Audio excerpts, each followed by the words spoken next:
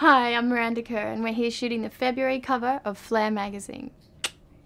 The mood of the set is romantic because um, this this edition of Flare actually comes out around Valentine's Day so you know it has a romantic, stylish, sexy, sophisticated feel to it.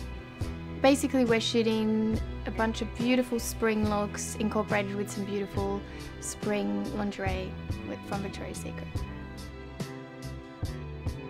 you know, nowadays it's not always about hiding your lingerie, it's about um, incorporating your lingerie into your wardrobe and sometimes using those pieces as like for layering, like you can have beautiful um, bustier from Victoria's Secret and then layer it with a nice jacket over the top and then a scarf and some jeans or you can wear it, dress it up or dress it down. So um, not only is Victoria's Secret great for underwear, but it's also sometimes that underwear can actually transform into outerwear as well.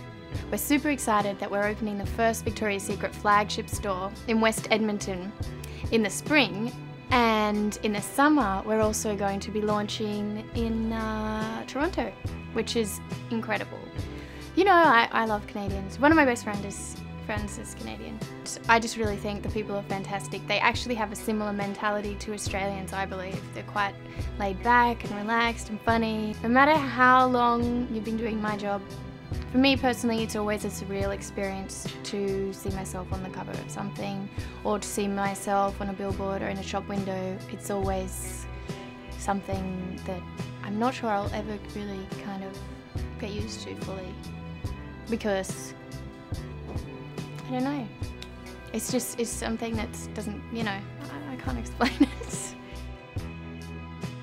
Thank you so much for joining me today. I hope you enjoyed the shoot as much as I did.